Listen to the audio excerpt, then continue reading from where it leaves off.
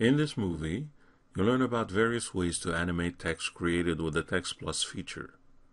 Text Plus is relatively new to 3ds Max and can only be used in 3ds Max 2016 Extension 1 or newer. Using Text Plus in combination with animation presets, you can create and reuse interesting animations on words, paragraphs, or letters. Start or reset 3ds Max. On the Customize Units setup, make sure the display units are set to generic and that the system units are set to inches. This is the default setup. In its simplest form, you create a Text Plus entity much the same way you did with the old text tool, with a simple click in the viewport. From there, you can change the body of text by editing it in the command panel. This is where the similarities stop, as Text Plus has quite a bit more functionality to offer. For a detailed overview of the feature, watch the tutorial named Using Text Plus Overview on this channel. Here, though, you will concentrate on animation features. For that, start by giving the text you created a bit of volume by changing the extrude value. To animate text, you can of course enable auto key mode and start moving or rotating the text element. This, however, would act on the object as a whole. If you want further control, such as animating individual words or characters, then you can use animation presets. Animation presets are stored on disk and then loaded on objects you plan to animate. You can also use embedded offset controls to prevent objects from doing the same thing at the same time. Animation presets are covered in detail in the tutorial named Using Animation Offset Controls and Presets found on this channel. They're actually easy to create and use. In a nutshell, you animate an object's transforms and or modifiers, and then you store that animation that you later load on another object. Try it out. In the perspective view, create a box that's about as big as one of the existing letters. In the hierarchy panel, center the object's pivot point. This will help with the rotations in a moment. Move the box up on the z-axis. About 80 units should do. Next, you'll animate it to move down while rotating. Enable Auto Key Mode and go to frame 40. Move the box back down and rotate it a bit on the x-axis. Do not worry about the rotation amount, you'll adjust that in a moment. Right-click and go to the Curve Editor. Click to highlight the Z position track. Select the first keyframe and set its tangent to linear. Repeat with the X rotation track.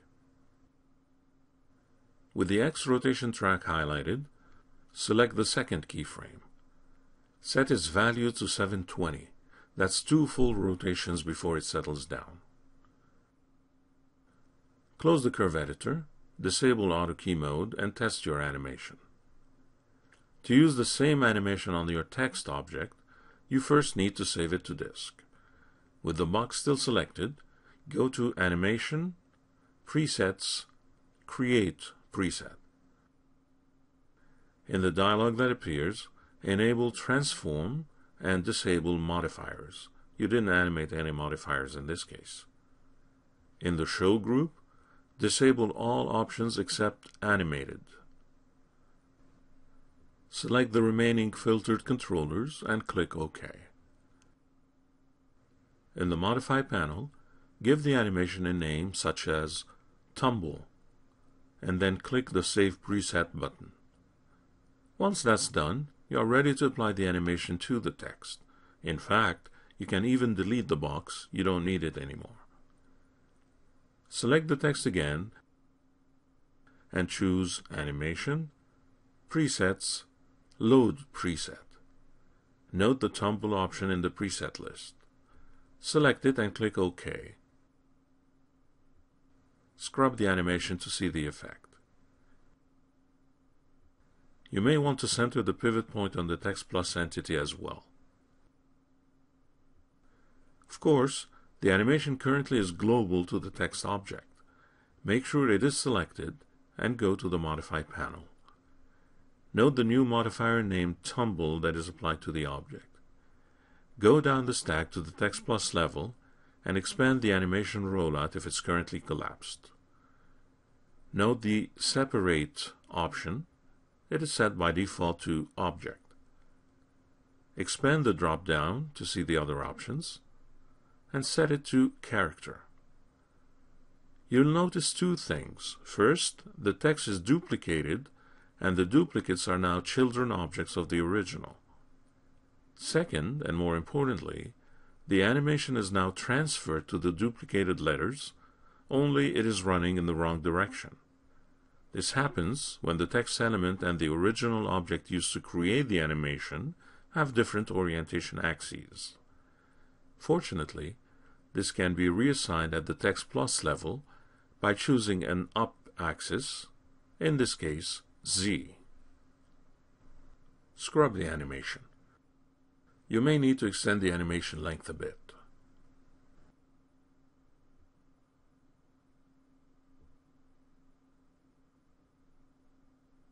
At this point, you can hide the original text plus element and deal only with the animated characters. They are entities in their own right and can be edited as such, for example by centering their pivot points.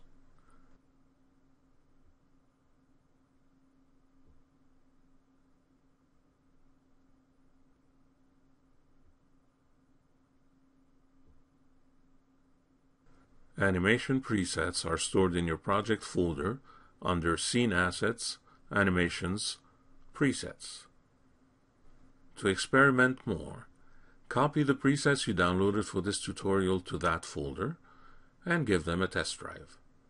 Reset 3ds Max and try them out.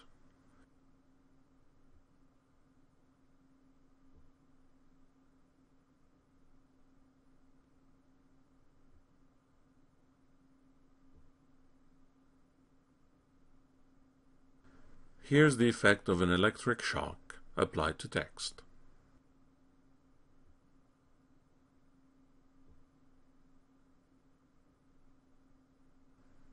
It is based on an animated noise modifier.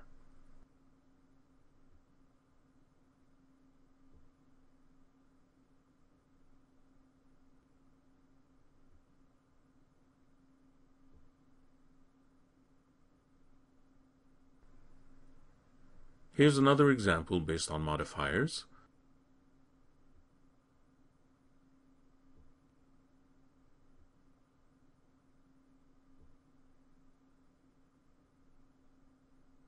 This time, with bend and stretch modifiers,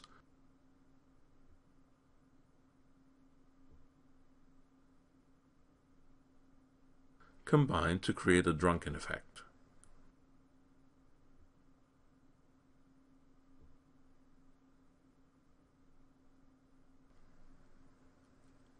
Let's go back exploring the other options of separating text.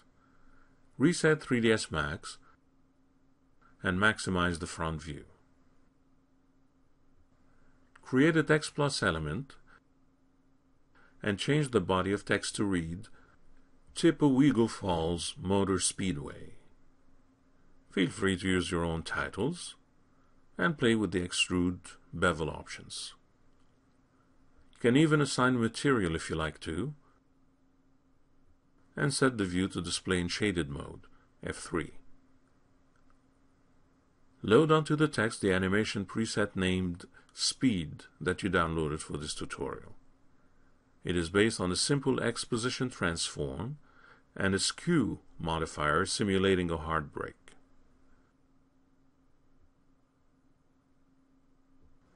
If you want this logo to spread over two lines, you have a couple of choices. One way would be to simply edit the body of text and use the Enter key at the right spot. This, however, creates a paragraph break that can be significant when the animation is applied. Back to that in a moment. In object mode, and as discussed earlier, the animation is applied globally to the text entity. In character mode, also as you have learned, Characters are separated as children objects and animated as designed. In word mode, and as you might guess, text entities are separated by the words that make out the phrase, in this case, four sub-elements, which leaves us with line and paragraph. Before we get to that, a word of caution. When switching from one mode to another, always do so at frame 0. If you don't, the sub-elements may shift in space. For example, if I switch from word to line at frame 25, and then go back to frame 0, you'll notice that the sub-entities are now off-screen. If that happens, simply go back to frame 0 and choose the proper mode again. So, line and paragraph. If you test them out, they'll have the same behavior. This is because of the paragraph break you forced earlier.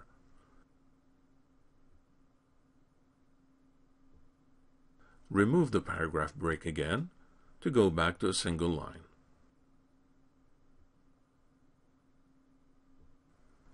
Now switch the mode from point to region and set the region width to 200. You're back to the same display as a moment ago, except that you're now dealing with one paragraph made of two lines instead of two single-line paragraphs. And this makes a difference when you test out the different modes. Choose the mode you like best and set the perspective view for a more interesting shot. You should now have a good grasp of how to animate Text Plus entities. It's your turn now to come up with your own ideas, which you will hopefully share with us.